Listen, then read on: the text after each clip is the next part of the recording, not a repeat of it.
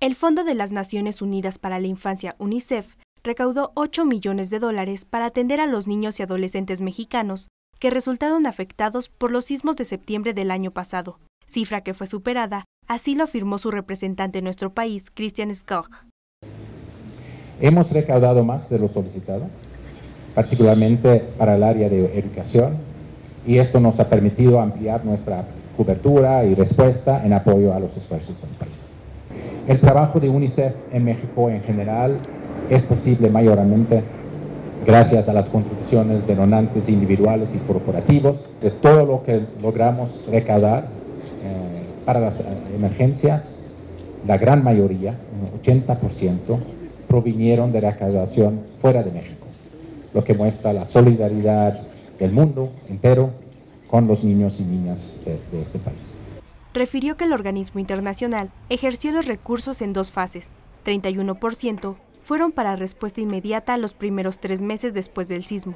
y 69% para un plan de recuperación. Gracias a las generosas contribuciones de miembros del público y entidades del sector privado de México y el mundo, logramos recaudar más de 8 millones de dólares que nos permitieron, por ejemplo, distribuir paquetes de higiene a 3.579 familias, asegurar que 9.370 niñas, niños y adolescentes tuvieran, acceso a agua segura para beber y acceso a instalaciones amigables de saneamiento y higiene. En respuesta a los sismos, UNICEF hizo un llamado inicial de 6.6 millones de dólares